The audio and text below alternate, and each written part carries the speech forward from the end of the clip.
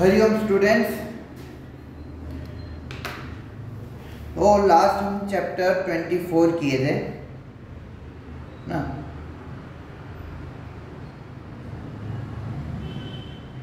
परंतु लास्ट जो हमने किए थे, कबीर के दोहों की। तो कबीर के दोहे तो लास्ट लेकिन एक चैप्टर जो है, जो अभी भी शेष है।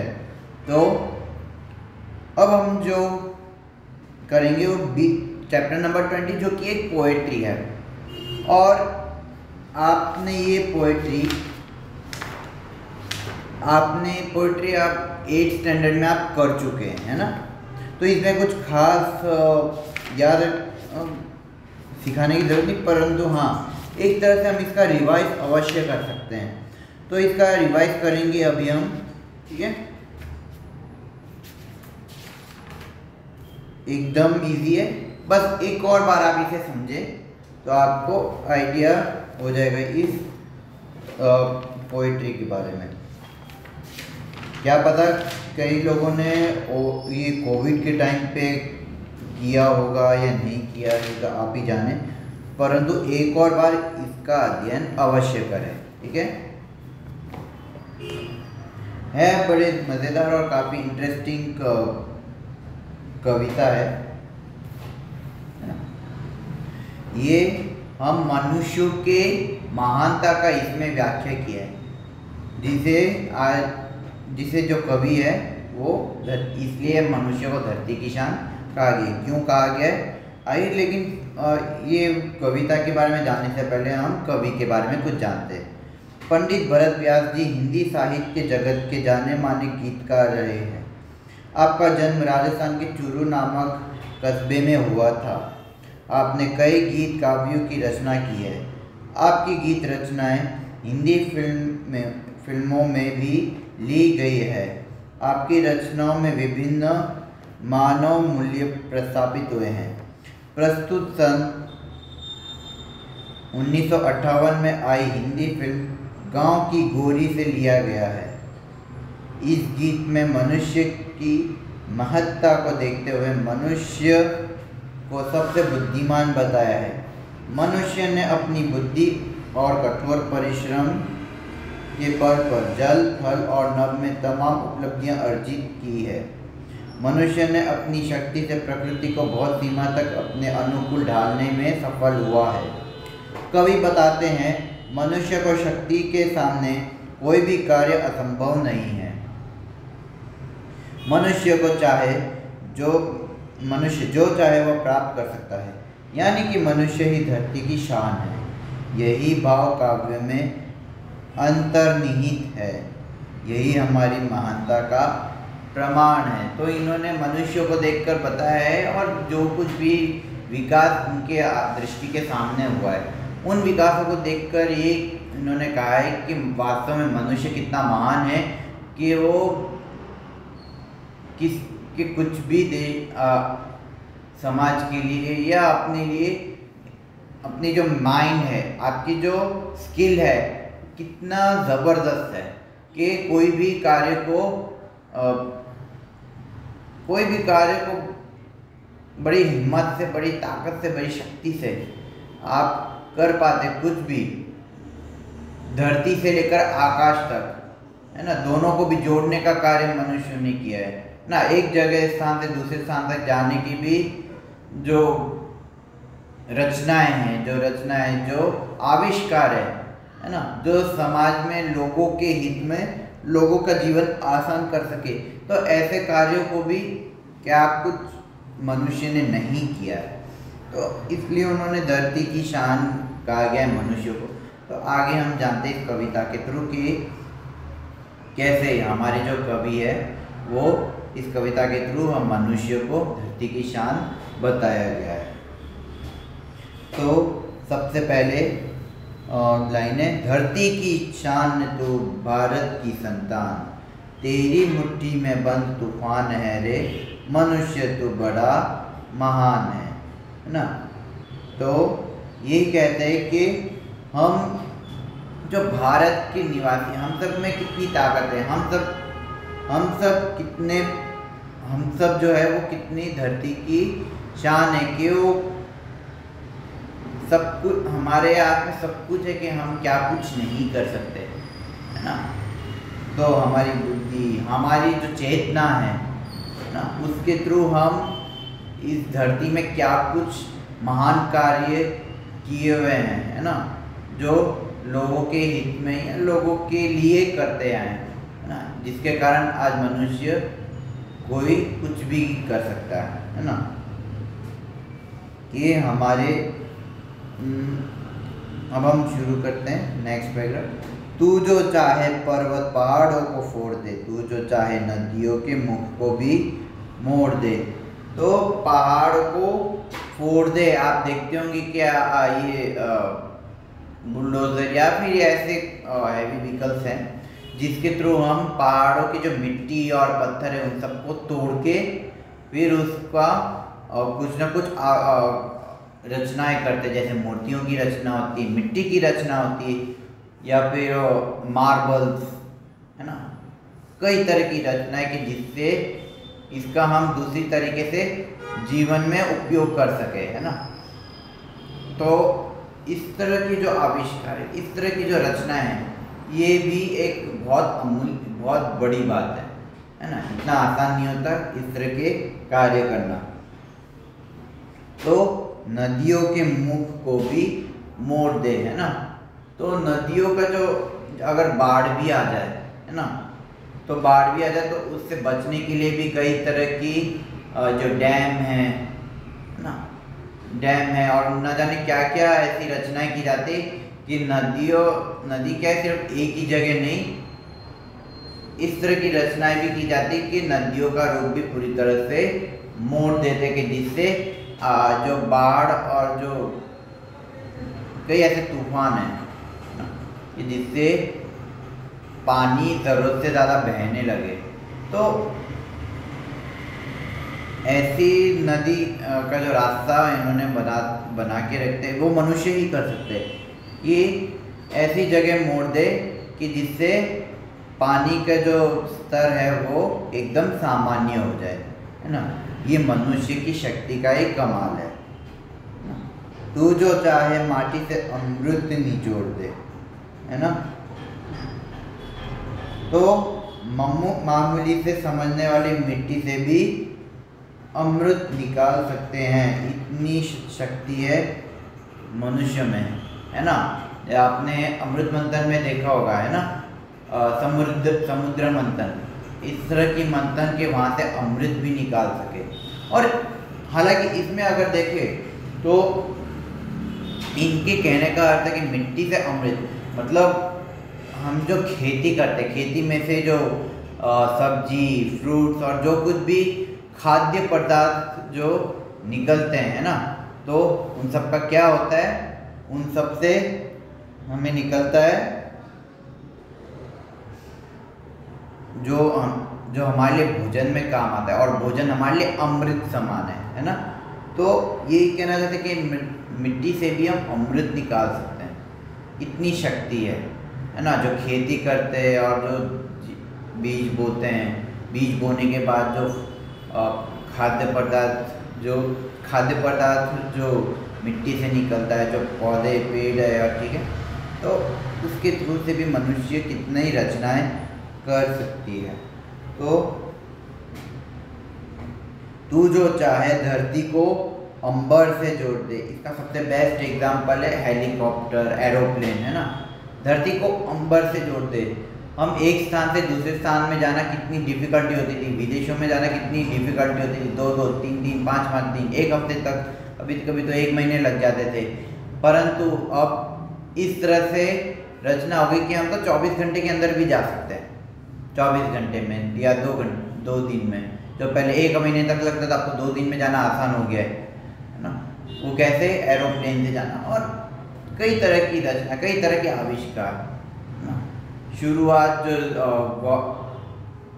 राइट ब्रदर्स ने की थी आज कहाँ से कहाँ तक पहुँच गए? हाँ, तो ये ये तभी संभव है कि मनुष्य ने इस तरह की रचना की कि हम एक स्थान से दूसरे स्थान तक जा सके वो भी धरती और आकाश को जोड़कर है ना? तो इसलिए मनुष्य को भी महान कहा गया है। अमर तेरे प्राण मिला तुझको वरदान। तेरी आत्मा में स्वयं भगवान है रे। ना? तो तेरे प्राणों को अमर रहने का वरदान मिला। मतलब जैसे कि आज के डॉक्टर्स है ना? डॉक्टर्स तो मनुष्य ही होते हैं ना। तो डॉक्टर्स के पास इतनी शक्ति है, जो पहले वैद्य के पास होती थी आज तो डॉक्टर के पास भी होने लगे। ऑपरेशन सर्जन के अगर कुछ भी इतनी तकलीफ़ हो कि इंसान मर मर भी सकता है तो उसे जीवित करने का भी जो शक्ति है, या जो भी कला है, या जो प्रैक्टिस कह सकते हैं हम तो ऐसी क्षमता मनुष्यों में ही हो सकती है है ना? कि मरने की कगार पे मनुष्य को जीवन दान, जो आज के मेडिकल में आप देख सकते हैं तो वो कैसे हो पाया है? मनुष्यों के कई तरह की रचनाओं के द्वारा। इसलिए कहते हैं कि तुम्हारे आत्माओं में स्वयं भगवान है है ना? ये भी बड़े बड़े महान कार्य करते वो तब होता है जब आपके अंदर की भगवान को जगाते हैं। लोगों की भगवान का वास्तविक है कि मानवों की रक्षा करना, है ना? मानवता की रक्षा करना, है ना? और दुष्टों का नाश करना, इसलिए उन्हें भगवान कहा जाता है। और ये तभी हो सकता है कि जब अपने अंदर के भगवान को जगाए, ना कि शैतान को।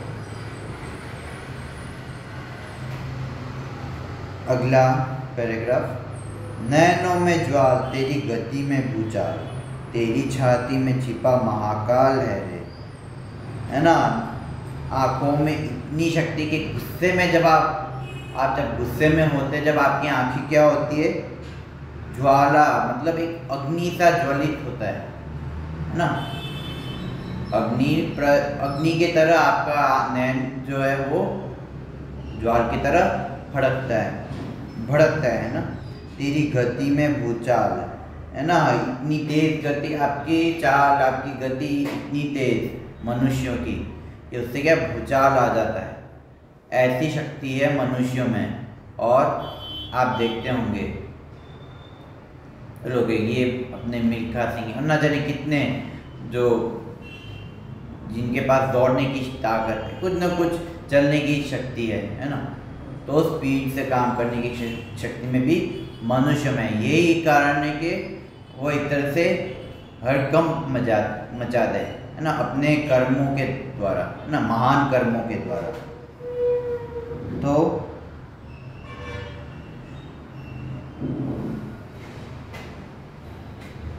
तो तेरी छाती में छिपा, माँ काल है। हमारी छाती में इतनी शक्ति के, हमारे छाती में भी महाकाल छिपा हुआ महाकाल यानी महादेव, है ना? इतनी शक्तिशाली है है ना? वो कहते हैं ना, छप्पन इंच की छाती मतलब छाती फुला दे इतनी शक्ति। इतना देश पर गर्व है ना तो पृथ्वी के लाल तेरा हिमगिरी सा भाल, तेरी ब्रुकुटी में तांडव का ताल है। पृथ्वी के लाल तेरी हिमगिरी सा बाल मतलब क्या है? कि हिमगिरी सा बाल के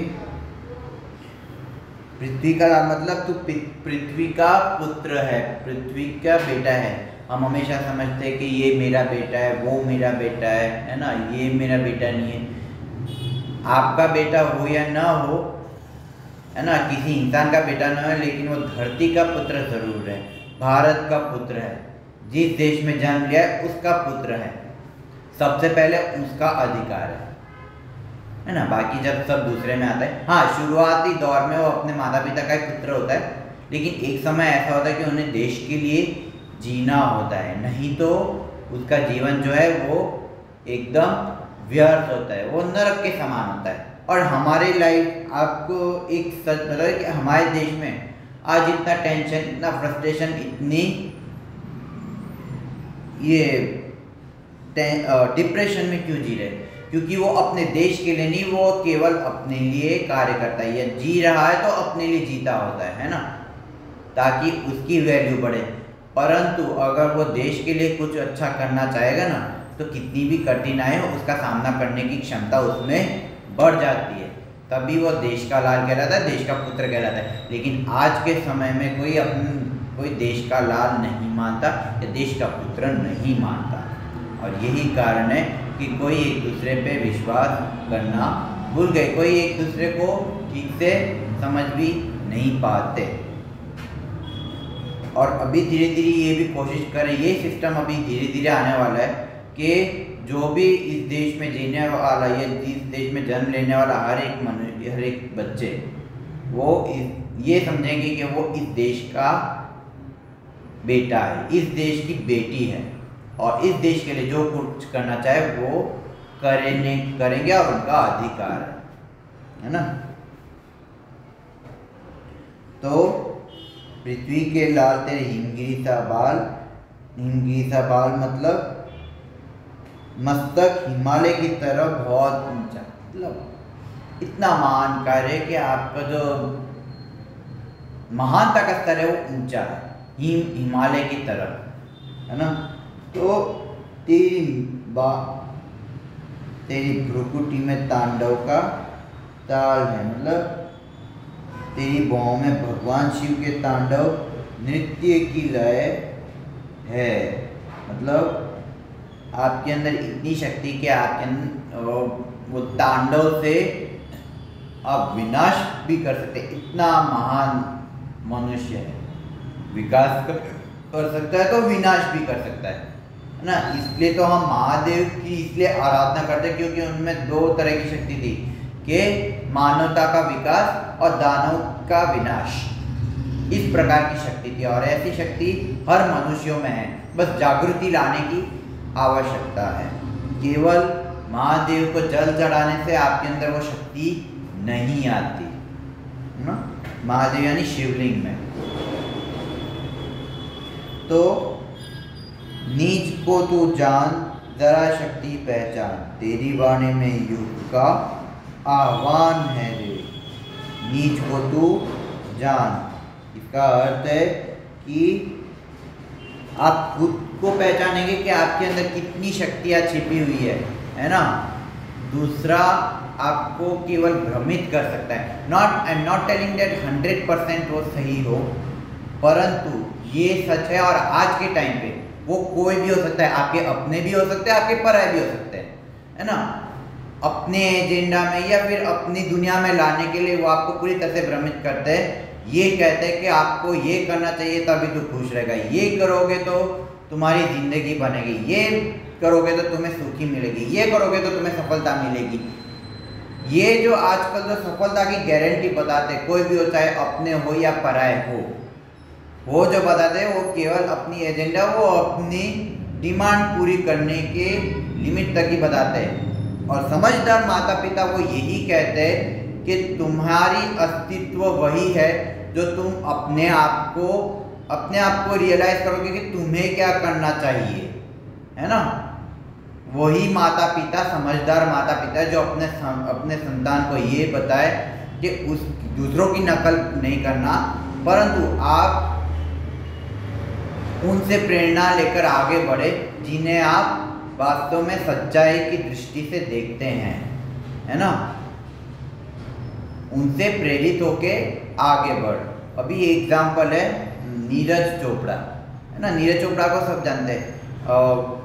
इस लेवल तक आगे आए कि यहाँ जो गोल्ड मेडलिस्ट बने, वो भी किसमें? एथलेटिक्स में, है ना? इससे पहले अभी तक इसमें भारत में किसी को भी भारत, किसी भी भारतीय को गोल्ड मेडल नहीं मिला। परंतु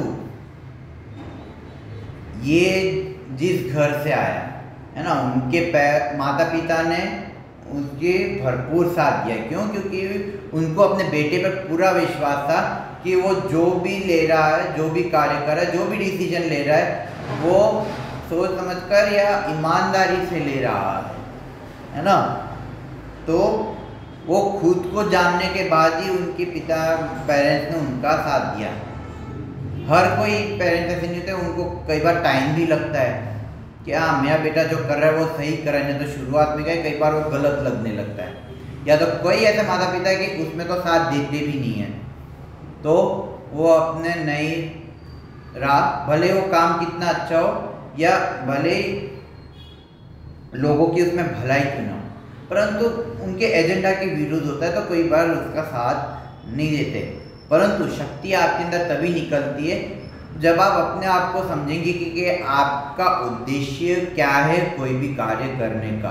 केवल पैसा कमाना है केवल बड़ा बनना है या फिर अपने अस्तित्व का अपने अस्तित्व का सम्मान करना है। जो इंसान अपने अस्तित्व का सम्मान करके आगे बढ़ेगा काम करेगा है ना?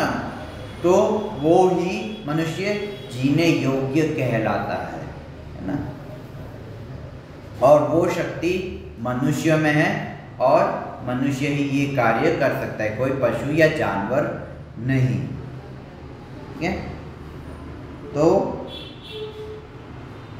तेरी वाणी में युग का आह्वान है रे। आपकी वाणी में इतनी शक्ति कि आप युग, नए युग का आह्वान कर सकते हैं। गांधी जी में शक्ति थी तो उन्होंने युग का आह्वान किया अंग्रेज़ों के विरुद्ध।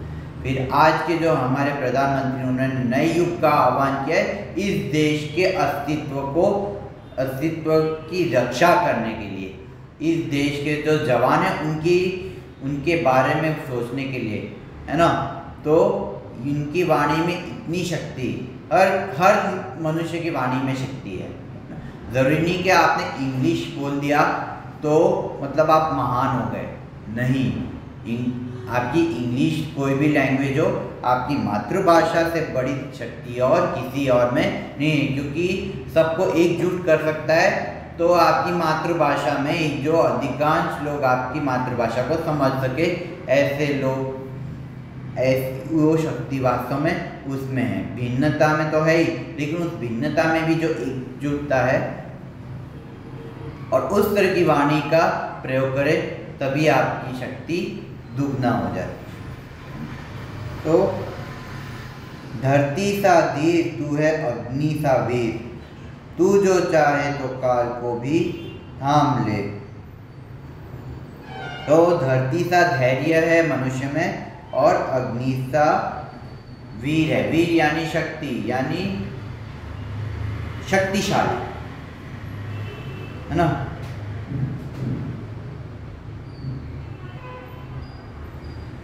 अग्नि के समान जला देने वाली शक्ति है। तो तू जो चाहे तो काल को भी थाम ले। काल का मतलब आपका जो समय को भी थाम ले, है ना? इतनी शक्ति है मनुष्य में। कई तरह के आविष्कार, जैसे मिसाइल्स को भी देखे तो मिसाइल्स भी जाते हैं, है ना? समय को रोक सकता है। किस तरह से?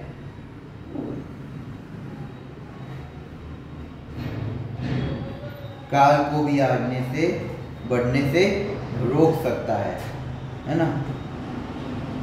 आज पापों का प्रलय रुके, पशुता का शीश झुके, तू जो अगर हिम्मत से काम ले, हिम्मत से मनुष्य अगर काम ले तो पापों के जो प्रलय, उसे भी रोक सकते हैं। जैसे मैंने आपको थोड़ी देर पहले कहा था कि इतने पाप राक्षसों के द्वारा होता है तो हमारे न जाने कितने ऐसे एग्जाम्पल्स हैं, खास करके भारत में, कि अन्याय और पापों के खिलाफ लड़ने में मनुष्य का कितना बड़ा योगदान रहा चाहे वो श्री राम का हो, चाहे वो श्री कृष्ण का हो, चाहे महाराणा प्रताप हो, चाहे शिवाजी हो, कोई भी हो, चाहे वो झांसी की रानी क्यों ना हो तो उनमें, मनुष्यों में इतनी शक्ति है कि पापों के खिलाफ लड़ने के लिए आगे आते हैं, है ना? उनको रोक सके। निर्दोषों को तो रोकना बड़ा आसान होता है, परंतु पापों को और जो अत्याचारी हो या जो दुष्ट हो, उन सबको रोकने का जो एक ही अगर कोई कार्य कर सकता चाहे वो कितनी भी मुश्किल हो तो वो मनुष्य ही कर सकता है ना? पशुता का शीश झुके। पशुता मतलब जिसे मैंने अत्याचार कहा। पशुता मतलब आजकल जो बलात्कार, चोरी, है ना, डकैती, है ना तो इस तरह के कार्य को पशुता, है ना, इस कार्य को रोकने की भी रोक सके, है ना।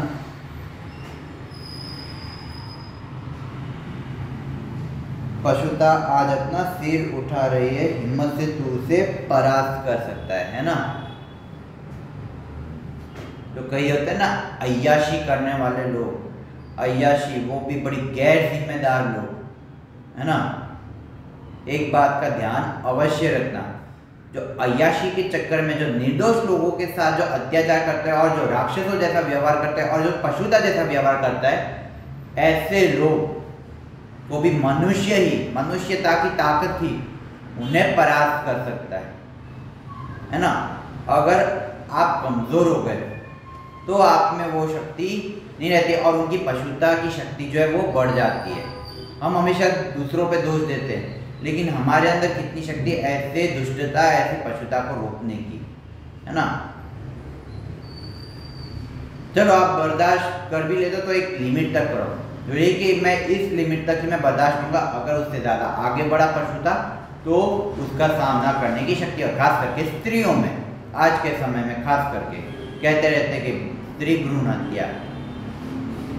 है ना? बच्ची को रोकना, वो भी पशुता है। पशुता क्या? उससे भी बड़ा गया गुजरा हुआ काम है। ना? कई ऐसी ऐसी मान्यता है, जो पशुता को बढ़ाती है। तो ऐसी, ऐसा सामना करने की क्षमता मनुष्य में ही है। जिसे लोकहित में हम आगे बढ़ने के लिए प्रेरित कर सकें। तो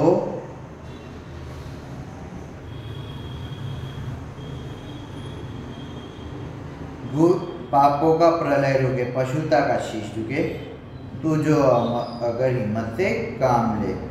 गुरु सा मतिमान पवन सा तो गतिमान तेरी नभ से भी ऊँची उड़ान है रे। तो गुरु सा मतिमान मतलब गुरु, यानी गुरु बृहस्पति के विषय में कि गुरु बृहस्पति सा बुद्धिमान है। मतिमान मतलब बुद्धि, मस्तिष्क। तो गुरु सा मतिमान, है ना? हमारे जो गुरु बृहस्पति है, देवताओं के गुरु, बुद्धिमान। तो वो बुद्धिमान, जैसा हमार हमार मनुष्य में वो क्वालिटीज है। और पवन सा तो गतिमान जैसे थोड़ी देर पहले कहा था कि हमारे तो कि पवन की तरह हमारे अंदर कितनी स्पीड है, कितनी क्षमता है, कितना एडवांस है कि हम स्पीड से हम कुछ भी काम कर सकते हैं स्पीड से दौड़ सकते हैं, है ना? इतनी शक्ति है पवन की तरह। तो इन दोनों का एग्ज़ाम्पल देते हुए हमारी जो ये जो मानवता की जो मनुष्य की जो क्वालिटीज है, उसका गुणगान किया है। तो तेरी नब से भी ऊँची उड़ान है। अच्छा ये मत समझना कि नब से भी ऊँची, आकाश से भी ऊँची उड़ान है, इसका मतलब नहीं कि आप आकाश से ऊपर पहुँचा। नहीं, इतनी क्षमता, इतनी चेतना शक्ति है आपके अंदर कि आपका जो मान, सम्मान है ना, और आपका जो अस्तित्व है, वो उसकी जो वैल्यू है, उसकी जो महानता है, वो नब से भी ऊपर है। मतलब उसकी कोई सीमा रेखा नहीं। इतनी महान है है ना? इसने मनुष्य को महानता के दर्जे में इस कवि हमारे कवि ने दिया गया है ठीक है? तो इसलिए ये जो पोइट्री है धरती की वो इसलिए काफ़ी महत्व है हर मनुष्यों के लिए ठीक है? तो सबसे पहला आ, ये पोइट्री तो पूरा हो गया अब हम शब्दार्थ और टिप्पणी करेंगे।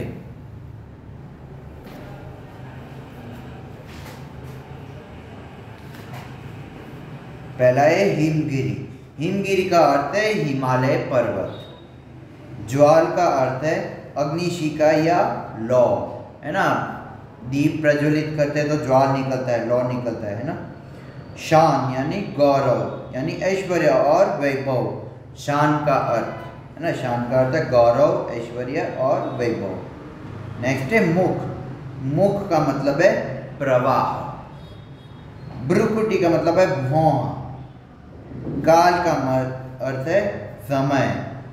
समय मतलब इसका दूसरी तरह से देख सकते तो उसका संबंध है सत्ता जिसके द्वारा भूत भविष्य वर्तमान की प्रतीति होती उस तरह के काल को का मतलब है समय। मतिमान का अर्थ है बुद्धिमान या विचार, बुद्धिमान और विचारवान, दोनों। है ना? विचारवान हो या बुद्धिमान हो। प्रलय का अर्थ है नाश या विनाश।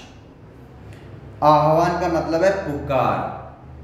है ना? पुकारती है मतलब एक नए युग का आह्वान करते मतलब एक पुकार, नए युग का। तो इसमें उसी हिसाब से ठीक है भाल का अर्थ है मस्तिष्क, या कपाल। इसे कहते हैं भाल। ललाट ललाट का मतलब है नी, यानी अपना। निजी, अपना, ललाट।